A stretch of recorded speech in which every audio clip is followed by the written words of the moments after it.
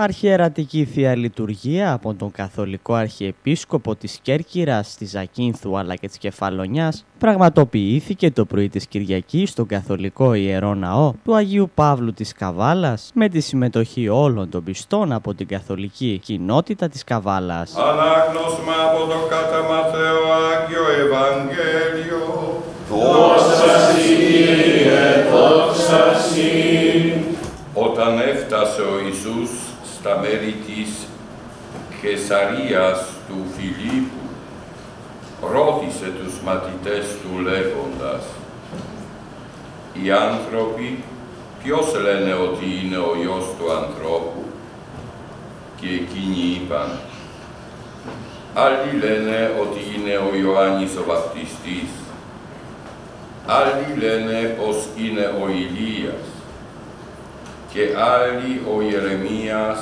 ή κάποιος από τους προφήτες. Ο Κύριος όμως μου παραστάθηκε και με δυνάμωσε, για να μπορέσω να ολοκληρώσω το αποστολικό μου έργο και να ακούσω το κήρυγμα, να ακούσω το κήρυγμα όλα τα έθνη. Με γλίτωσε από το στόμα του λιονταριού. Ο Κύριος θα με γλιτώσει και από κάθε έργο κακό και θα με σώσει οδηγώντας με στη βασιλεία του την ουράνια.